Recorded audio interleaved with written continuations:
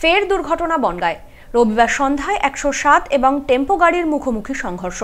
হাসপাতাল দু নম্বর গেট লাগোয়া এই ঘটনায় দ্রুত চাঞ্চল্য ছড়িয়ে পড়ে এলাকায়। তবে ঘটনায় হতাহতের কোনো খবর নেই। ফের দুর্ঘটনা বনগা শহরে। মুখোমুখি সংঘর্ষ, একটি একশো সাত ও তিন চাকা টেম্পো গাড়ির। রবিবার সন্ধ্যায় ঘটনাটি ঘটেছে বনগা চাকদা সড়কের বনগা হাসপাতাল দু নম্বর গেট এলাকায়। স্থানীয় সূত্রে জানা গেছে, চাকদাহের দিক থেকে একটি একশো সাত গাড়ি বনগার দিকে আসছিল। বনগার দিক থেকে চাকদার দিকে যাচ্ছিল একটি টেম্পো। হঠাৎ বিকট শব্দ শুনে হকচকিয়ে যান স্থানীয় বাসিন্দারা। রাস্তার দিকে তাকিয়ে দেখেন একশো সাতের ধাক্কায় টেম্পো গাড়ির পেছন দিকের ডালা ছিটকে উল্টে পড়েছে রাস্তার ওপর। খবর পেয়ে বনগা থানার পুলিশ পৌঁছায় ঘটনাস্থলে। দুর্ঘটনাগ্রস্ত গাড়িটিকে উদ্ধারও করেন তারা। তবে মুখোমুখি সংঘর্ষ হলেও বরাত জোরে রক্ষা পেয়েছেন টেম্পো চালক। ঘটনায় সামান্য আহত হন তিনি।